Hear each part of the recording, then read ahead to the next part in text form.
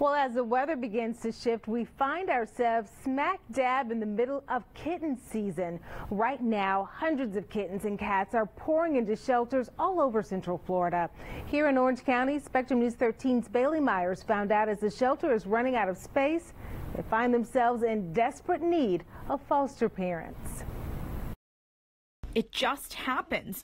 You see kittens and suddenly your voice changes. Oh, yeah, baby, baby, baby, baby, baby, baby, baby, baby, baby. No one. Excuse me. Not even dog like myself or converted cat lover Caroline St. Clair can help it. You see their faces and boom. I am a bona fide crazy cat lady. And for years now, St. Clair has taken that role very seriously.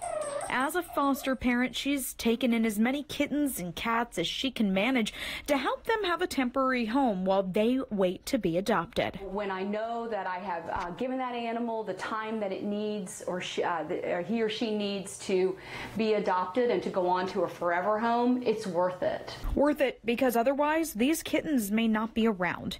That's because in Orange County, the shelter takes in all animals. During the summer, they see a huge spike in the amount of kittens rushing through their doors.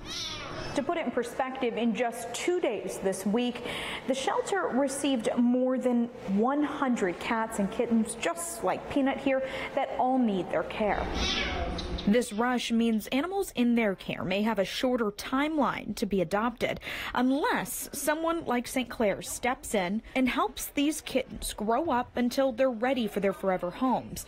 But there's a big shortage of people willing to take the time to house and play with these little ones, which is why St. Clair is making her kitten loving voice heard loud and clear. Oh. All in hopes others will pick up on the kitten craze. If we can give those kittens a safe place to go until they just get a little bigger so that they can be adopted, it'll make all the difference in the world. So foster parents really do, they save lives, absolutely. In Orange County, Bailey Myers, Spectrum News 13.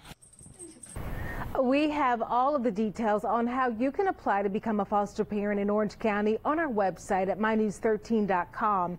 And we were told all of the kittens in this video are about to be adopted except for Peanut, who will be featured on our website.